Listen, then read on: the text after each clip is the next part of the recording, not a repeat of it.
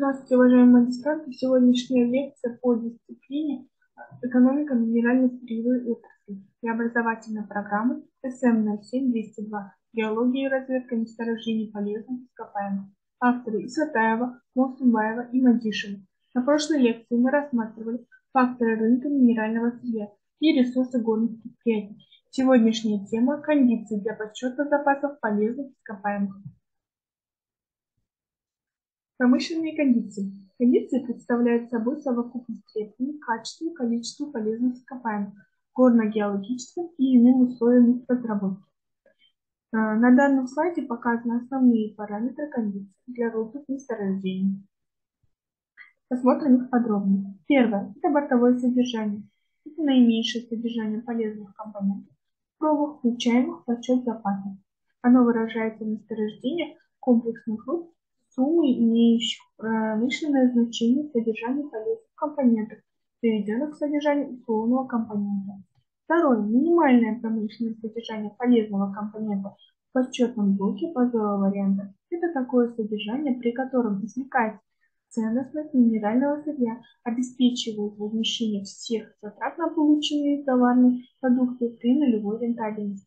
Третье. Минимальные запасы изолированных тел полезных ископаемых.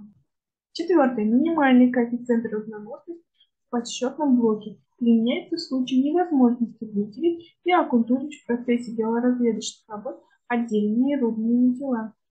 Пятое. Минимальная мощность тел полезных ископаемых. Это наименьшая мощность, которая должна учитываться при подсчете запасов. Шестое. Максимально допустимая мощность прослоев пустых пород и некондиционных полезных ископаемых. Прослои и участки пустых пород или некондиционных по содержанию не должны включаться в контуры балансовых запасов. Седьмое. Коэффициенты для приведения содержания полезных компонентов комплексных руд к содержанию условного компонента. Максимально допустимое содержание вредных примесей в подсчетном блоке по выборке или переработке.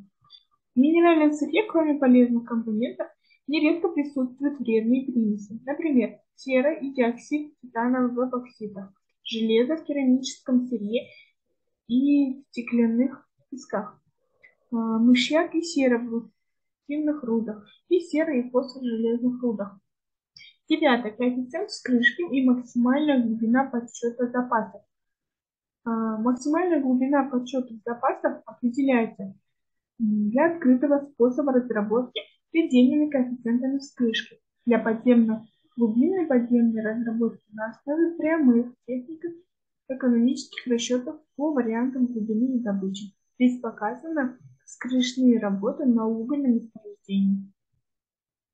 Кондиции в соответствии с этапами изучения, э, с этапами изучения и освоения месторождений разделяются на разведочные и эксплуатационные. Разведочные кондиции разрабатываются по результатам разведки и геолого-экономической оценки месторождений для оккультуривания и подсчета запасов полезных ископаемых и определяют их промышленные ценности. Разведданочные кондиции в соответствии с этапами разведки и геологической оценки месторождений подразделяются на временные и постоянные. Эксплуатационные кондиции разрабатываются в процессе отработки месторождений. А, кондиции для подсчета запасов месторождений. Для подсчета балансовых запасов рудных месторождений, черных, цветных редких благородных металлов, алмазов, горно-химического сырья, э, э, оксиды, следы разведочных кондиций могут включать следующие параметры. Первое. Минимальное промышленное содержание полезного компонента в подсчетном блоке. Второе. Минимальное содержание компонентов крайней выработки. Третье. Условия оккультуривания рудных тел геологических границах. Пятое. Требования к выделению э, типов или сортов полезного ископаемого. Э, пятое. Минимальное содержание в подсчетном блоке определяемое исходя из условий окупаемости э, предстоящих условных затрат. Шестое. Коэффициенты для приведения в комплексных рудах содержания полезных компонентов к содержанию условного основного компонента. Седьмое. Минимальное содержание компонентов, учитываемых при проведении. Восьмое. Максимальное допустимое содержание в бретах примеси в краевой пробе. Восьмое. Минимальные мощности тел полезных ископаемых. Девятое. Максимальная допустимая мощность при условиях пустых пород или некондиционных руд, включаемых в контур расчета запасов. Одиннадцатое. Минимальные запасы изолированных тел полезных ископаемых участков. Тринадцатое. Минимальный коэффициент трудоносности в расчетном блоке. 13. Максимальная глубина подсчета запасов требований, предусматривающих проведение подсчета запасов экономических обоснованных контуров. И 14. Перечень попутных компонентов, подсчитываемых совместно с основными компонентами балансовых запасов труд. Кондиции для подсчета запасов на месторождениях разрабатывают методом подземного овощевачивания дополнительно устанавливают максимально допустимое содержание карбонатов по подсчетному блоку, минимально допустимое содержание глинисто-альдегидовой фракции трудовмещающей толще относительно к проницаемым рудам, а, минимальный коэффициент фильтрации по блоку, а, предельная глубина долегания уровня подземных вод, перечень параметров для подсчета за балансных запасов аналогичен такому же но таковому же для подсчета балансовых запасов.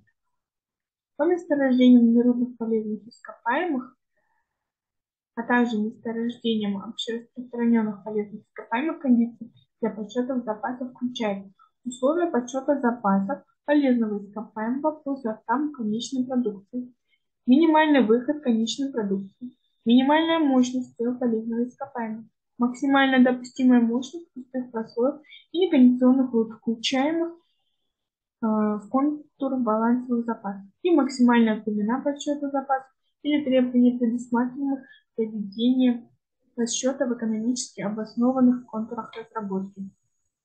А, в основу технико-экономического обоснования позиции должны быть положены обобщение и анализы материалов по геологическим, гидрогеологическим, инженерно-геологическим Характеристики месторождений.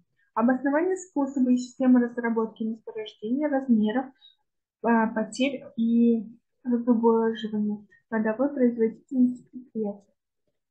Обоснование оптимальной схемы и показателей комплексной переработки минерального сырья по результатам изучения вещественного состава и физико-механических свойств полезного ископаемого. Расчеты технико-экономических показателей, освоение месторождений по каждому из вариантов, определение оптимального варианта освоения месторождений и соответствующих этому варианту параметров кондиций. А, геолого-экономическая оценка развитых запасов производится на основе рассмотрения экономических показателей, рассчитанных в двух вариантах – базовом и коммерческом. На основе базового варианта устанавливается потенциальные балансовые запасы месторождений. В то же время как коммерческая оценка позволяет определить ту часть, которая в данный момент может быть отобрана в условиях конкурентного рынка с приемлемым экономическим эффектом. Здесь показан список литературы, а, можете ознакомиться. На следующей лекции мы будем рассматривать тему э, категории, категории запасов, месторождений и прогнозных ресурсов твердых полезных ископаемых. Спасибо большое за внимание.